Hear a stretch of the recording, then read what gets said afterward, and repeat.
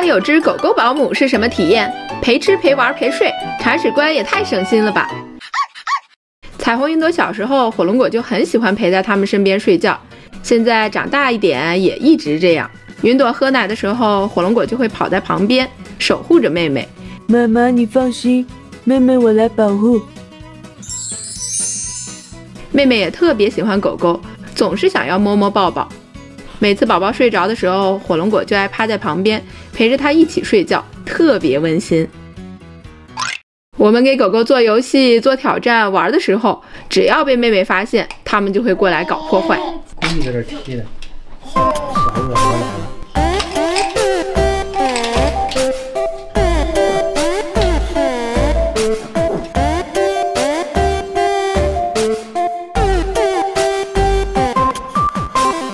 那能怎么办？自己的妹妹自己宠着呗。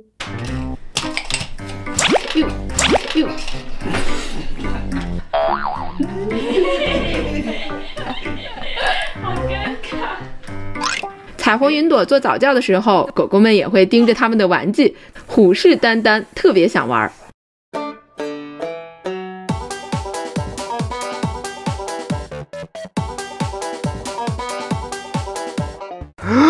干嘛？妹妹给我玩一下吗？不行不行，上一个都是你玩坏的。别这么小气，就给我玩一下吗？这是我的气球，妈妈还要用它给我做早教呢。哎哎，火龙哥，等一会儿，让他俩玩一会儿，你再去。玩那个。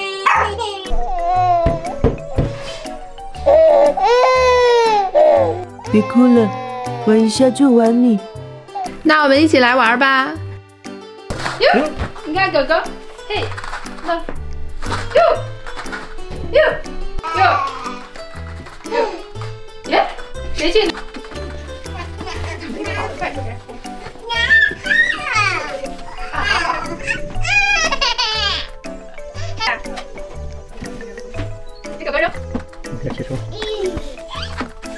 快给我扔！妹妹，你能不能靠谱点？别担心，我去给你拿。给你。谢谢妹妹。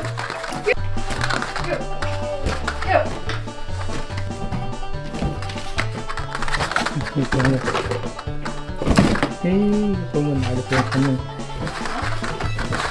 又掉进去了。妹妹，帮我拿一下。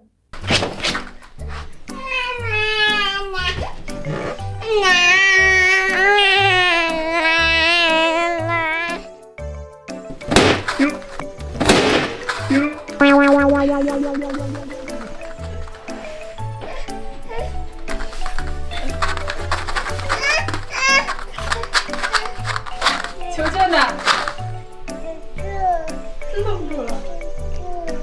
球球呢？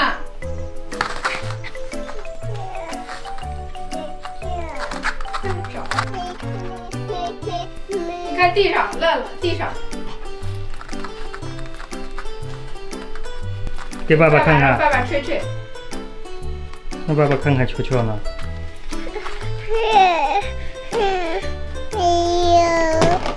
球球，球球，球球怎么了？球球是不是烂了？谁弄的？球球，球球，哎哎哎哎哎！怎么了？宝宝。火龙果啊。球球，球球，这个没法玩。那我帮你吹吹。吹的。吹不起来，爸爸帮我吹。爸爸吹不起来，烂了。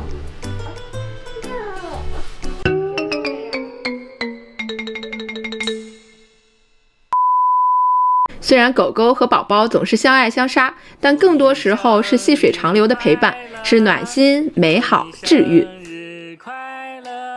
之前吃蛋糕的时候，不知道为啥彩虹云朵总是抱着盘子舔着吃。